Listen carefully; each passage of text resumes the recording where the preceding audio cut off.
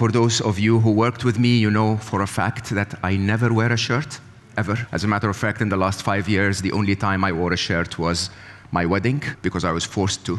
And that basically is an indication of how important this conversation is. I, I would not be exaggerating if I said that this year, specifically 2024, maybe 2025, is the most pivotal year in history of humanity. So please quote me on this. It is the most pivotal year of the history in the history of humanity. There has never been more disruption, and the biggest challenge with that disruption is that the most strategic, important people in the world, yourselves, uh, are not fully informed of what's happening in AI. So it's going to be my task today to tell you what actually is happening. It's mind blowing.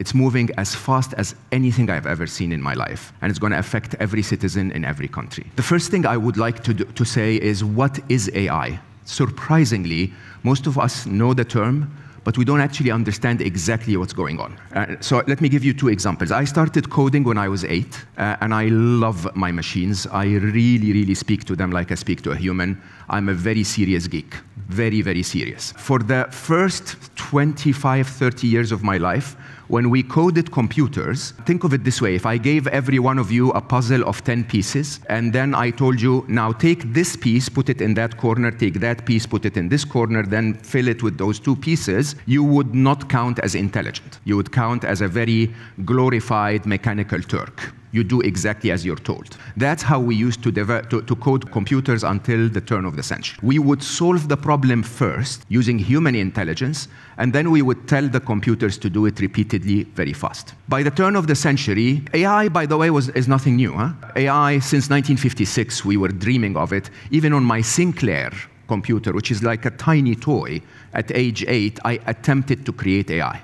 This was our geek dream forever. Only by the turn of the century was there enough compute power and enough data in the world because of the internet that AI started to pop up in something that we call deep learning. And deep learning was simply the idea again, imagine as a human example, uh, your children. So our children, when they're young, we give them those puzzles, a piece of wood with some holes in it and a cylinder and a star-shaped thing that they try to insert in those toys. Nobody actually walks to the child and say, hey, baby, turn the cylinder on its side, look at the cross-section, it's a circle, compare it to the other cross-sections, and then pass it through, it will pass. Nobody does that. That's traditional programming. Real human intelligence is to give the child a toy and they keep trying until they figure it out. That's what we did with deep learning. With deep learning, now that we had billions of data records on the internet, we could tell a computer, look at all of the numeric images on the internet and figure out what is the number seven. And it would do it. The very first example of that that really shook the tech world was 2009 in Google.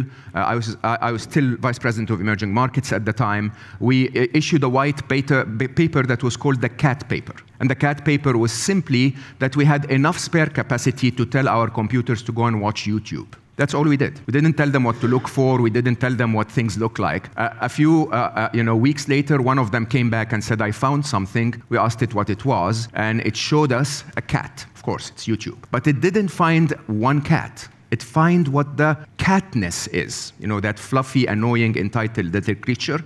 In every angle, doing whatever it is, the computers could find every cat, every human, every car, every red Ferrari, every everything. We did not teach them a thing. We just told them to observe patterns. 2016, another breakthrough was what we used to call, uh, uh, we still call it reinforcement learning, but it, it evolved a lot. So just giving you the milestones at a very top level. Until 2016, when we wrote a piece of code and the code couldn't find what we were looking for, we deleted it. In 2016, we decided, no, no, no, treat it like a child. Tell it, no, baby, this is not a duck, it's a cat.